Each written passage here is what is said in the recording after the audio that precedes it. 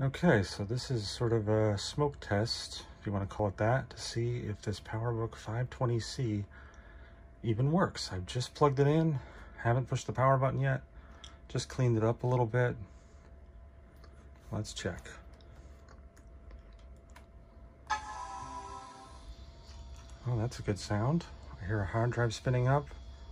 Obviously the boot, the boot chime is going. I'm seeing the screen start to fire on.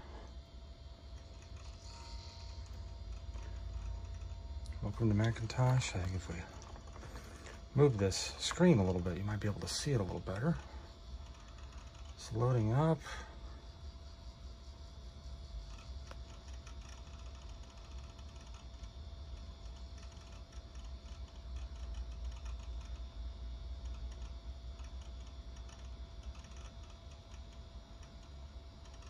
Nice.